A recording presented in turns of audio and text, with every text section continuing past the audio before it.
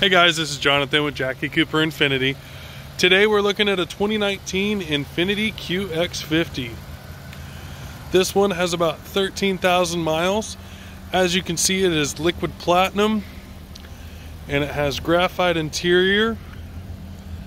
It has been a well-maintained car. The body looks fantastic. Interior wise looks good helps if I have the vehicle unlocked.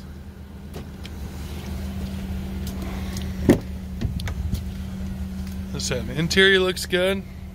It's got third row climate, or second row climate.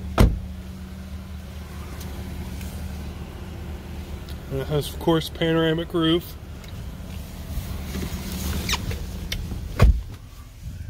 Navigation. Your round view monitor. It has the blind spot monitoring system. As well as your home section. And your 13,342 miles. If you have any questions or you want to see this uh, vehicle in person, feel free to give me a call. 918-805-9061. Thank you.